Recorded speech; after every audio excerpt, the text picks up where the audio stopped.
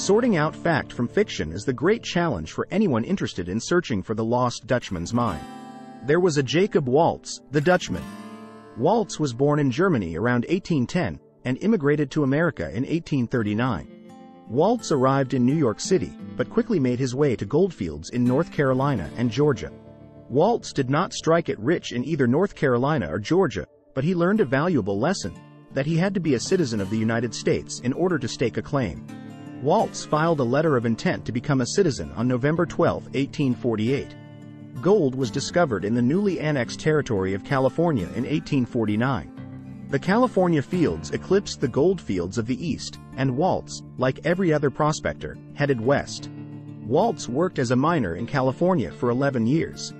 On July 19, 1861, in the Los Angeles County Courthouse, Jacob Waltz became a naturalized citizen of the United States. Waltz left California in 1863 with a group of prospectors bound for the Bradshaw Mountains of the Arizona Territory. Waltz's name appears on a mining claim filed in Prescott, Arizona Territory, on September 21, 1863. Waltz moved to the Salt River Valley, an area near Phoenix and the Superstition Mountains, in 1868. It was now that Waltz began his trips into the mountains surrounding the Salt River Valley. Did Waltz discover a rich gold mine or cache on one of these prospecting trips? Witnesses who knew Waltz say Waltz prospected every winter between 1868-1886.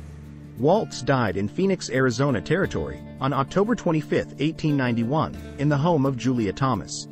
Waltz gave Julia Thomas clues to the location of a mine on his deathbed. Waltz is buried in the Pioneer Cemetery in downtown Phoenix. Jacob Waltz, the Dutchman, was dead, but the clues he left as to the location of his mine remained alive in the dreams of Julia Thomas. Julia had looked after Waltz before he died and was the first of a long line of hunters for the lost Dutchman's mine. Julia sold all of her worldly possessions to finance a fruitless search for the mine.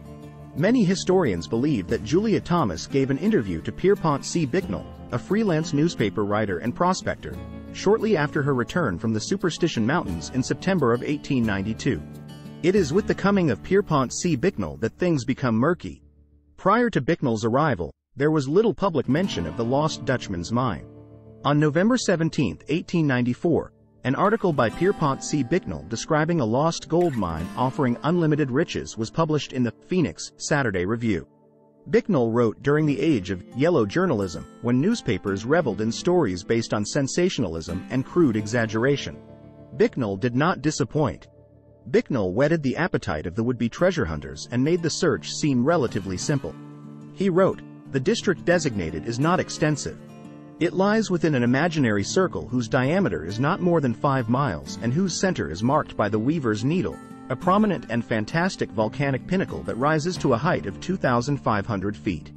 The legend of the lost Dutchman's mine might have withered into insignificance had it not been for the mysterious death of Adolf Ruth, an amateur treasure hunter, in the summer of 1931. The same year, a group of folklore-loving boosters founded the Dons of Arizona to promote the colorful folklore of the state, including the legend of the lost Dutchman's mine.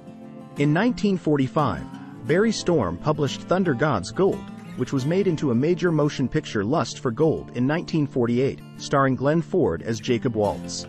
In 1949, the Peralta stones were unearthed, giving a further boost to the legend.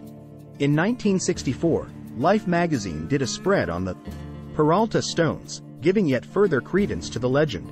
Whether true or not, the Lost Dutchman's mine is the most famous treasure legend in American history. The Lost Dutchman's story has been written about at least six times more often than the story of Captain Kidd's famous lost treasure. According to one estimate, 8,000 people annually make some effort, however half-hearted, to locate the Lost Dutchman's mine.